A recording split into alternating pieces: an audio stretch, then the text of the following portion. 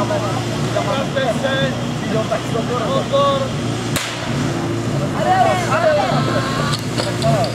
poslední družstvo Prestige Ligy odstartovalo. Druhý den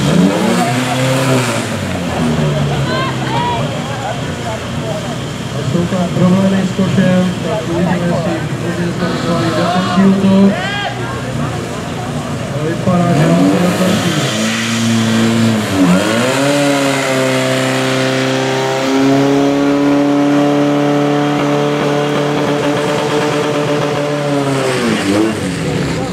Aujourd'hui, je vais parler